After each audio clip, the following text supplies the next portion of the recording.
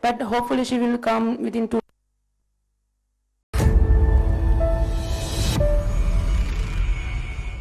we both are playing FairBreak in uh, Dubai. The last minute she got COVID positive, so but hopefully she will come within two